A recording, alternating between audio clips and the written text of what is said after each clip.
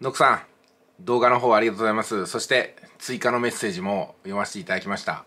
あの、まあ、バイナンスの件は置いといてですね、あの、肌の方どうですかね？明日またね、エステ行ってもう一回パチパチっと光浴びるんで、明日またね、かさぶただらけになると思うんですよ。で、かさぶたが取れたたんびに、あの、シミも取れていって、もう、ツヤツヤのお肌が見えてくるって形なんでね、私ちょっとね、また若返ったんじゃないかなと思うんですけどね、ちょっと光見えにくいかもしれませんけども、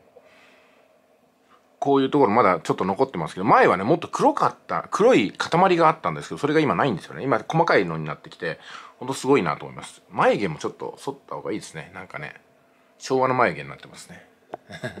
で、髪サプライズの方もちょっとすごいなと思うんですけど、私は髪は今のところ心配ないんで、このほうれい線とかね、シワとかをね、今度はやっていこうかなっていうのと、あとヒゲ。ヒゲの脱毛もちょっと挑戦しようかなと思うんですよ。これを機会にね、あの、脱毛 あの、体の間日本上場記念で、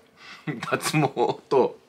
いろいろとね、エステに挑戦してね、まあ、こっから50歳になった瞬間に40歳の若さを取り戻すみたいなね、